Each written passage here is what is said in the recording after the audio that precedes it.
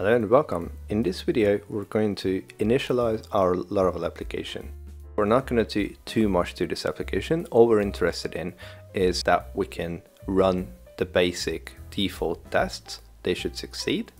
And then we can move on to install Jenkins and do the whole thing automatically. So let's get started. As now we have our Docker containers running, we can technically run composer commands inside of Docker, isn't it? So let's do just that.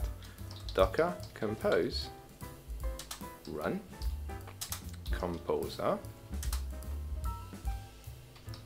create project laravel slash laravel. I'm gonna call it my blog. And uh, we're gonna specify the version 8.0 point star and also prefer dist.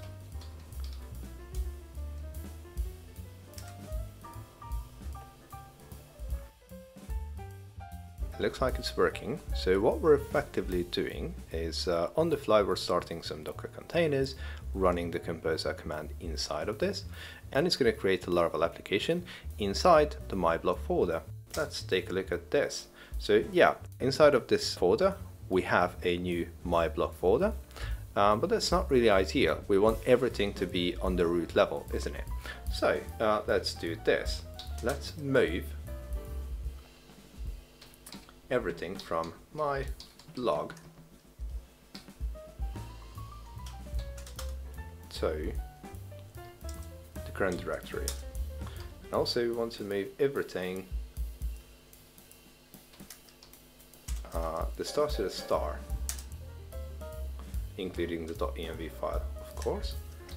So now we have everything in the root level. However, we still have this abandoned and empty my blog folder. So let's remove this. My blog. There you go. So now it's gone.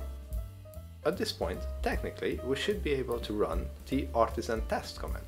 Let's give it a try. Docker compose run artisan test. So it looks like everything has worked. Laravel ships with some basic dummy tests. They're not really doing much, but if something was fundamentally wrong with our application, then at least we would know about it. In the next video, we're going to install Jenkins and create a pipeline that will perform exactly what we just did running the composer up, run the tests, and uh, if the tests succeed, then it would eventually deploy the application in AWS. I'll see you in the next video.